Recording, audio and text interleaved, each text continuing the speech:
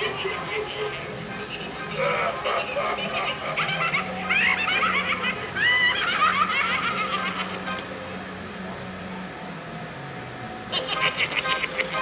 little guy loves playing tag with the kids.